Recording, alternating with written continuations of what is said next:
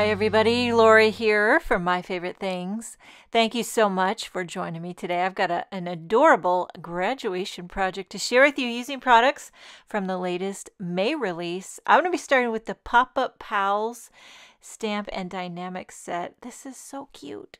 It allows you to create these little critters. You can do a, a panda, a bunny, a kitty cat, and a bear. And it's also interactive. There's a little slider track that you can make the PAL pop up. And there's a sentiment set that pairs well with it too. I think it's called Pop Up Phrases. I'm not using that today. I'm going to take one of these little pop-up pals. I'm going to do a bear.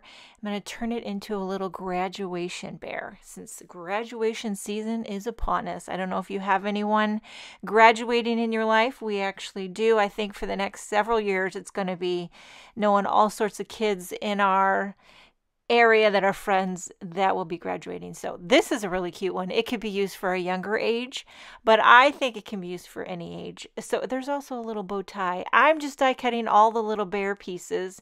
And then the stamp set allows you to add, there's a few different facial features you can pick from.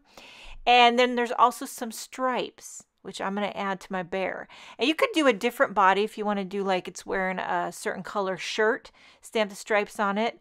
Um, I just did some, this is kind of like a honey brown cardstock. I pulled it out of my stash. I don't even know what brand. You know what? I need to label my cardstock. It's all meshing together. I don't know what's what. But I stamped the stripes on it. And then now I picked one of the faces. There's I think four different ones. They're all cute. I'm using VersaFine Onyx Black ink. First, I'm going to stamp the face. And then I'm going to glue down the little bear nose part. But here's the little facial things you can pick from. They're all cute. Any one of them. I chose the one on the bottom. And then, but I'm going to do a little Bearly Art's glue and glue a little cream kind of bear nose. And I didn't move the stamp out of place. I'm going to restamp it again in the same position, but the little mouth part will go on that cream kind of circle. And that just adds some extra detail. Cute little bear face. And then, oh, there's also little rosy cheeks you can add. If you didn't want to add these, you could blend blend a subtle little rosy cheek or add a rosy cheek with a Copic. You could also just skip a rosy cheek if it's not your cup of tea. You got lots of options. Okay, now moving on to this iconic grad Die-namics die set. This one here's a staple. I don't think it'll ever go out of style. You get the classic iconic graduation cap. There's a diploma, looks like a ribbon, like you could pin it on a shirt. There's also a grad word die. So I'm going to do a graduation cap out of red. I thought about doing black, but I thought, hey, red would pop. And then I did the little tassel out of some goldish yellow cardstock and I'm just adhering all these pieces together. You could pop up that top part if you want to add more dimension. I'm going to be popping things up, don't you worry. And so sometimes I got to decide when to pop and not to pop. Otherwise, the card will be five inches thick.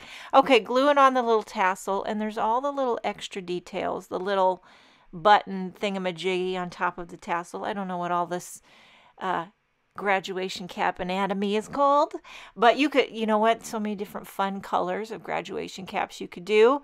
And there you have, really cute. And I, it just, just so happens that it fits perfectly on that bear. Like it was meant to be. I don't know if they planned it that way, but hey, I'm all about putting a graduation cap on a pop-up pal you know and okay so i'm just gluing this all together i put the cap on first before i decided where I wanted to commit with the bear ears. Now, bear ears can be controversial. You want to put them up high, you want to put them down kind of more on the side.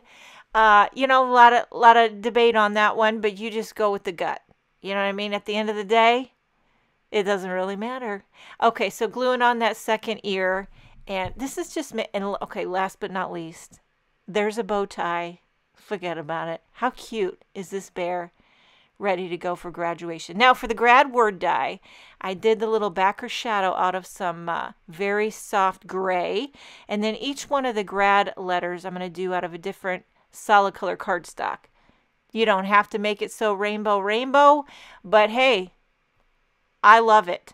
If you want to coordinate this or customize it to the school colors of whoever is graduating, it's a great time to do that as well.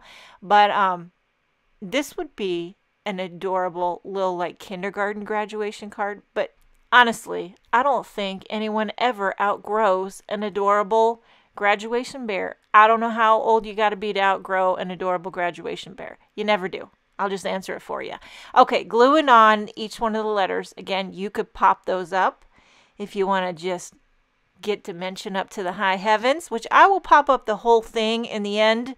Uh, so I believe me, I thought about popping up the letters. You could do a glue a couple together if you want to make them a little bit thicker. Uh, that's an option. So I'm gluing on a white panel onto a white card base, popping up the bear, popping up the grad, making sure it's all centered. The reason I make that extra white panel is I love a margin. I love to frame it. I feel like it draws your eye in towards the center and it just makes everything look neat and tidy. Okay, an extra little sub sentiment. This gra- congratulations stamp set. I'm going to emboss the yay you in white on a little scrap of black cardstock. So I'm going to ink this up with Versamark ink. And this is going to be nestled right underneath the grad. And there's a lot of other sentiments in that congratulations stamp set that would work perfectly with that grad word die.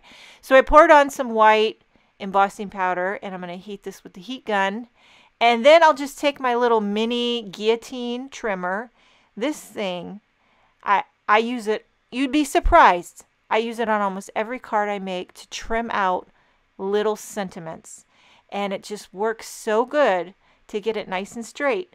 Pop that up right underneath the grad, and there you have colorful, adorable. It just makes you smile, but it's festive and it's great for graduation. Make sure and check out the rest of the May release with my favorite things. Thank you so much for joining me today. Have a wonderful day, and I will see you next time.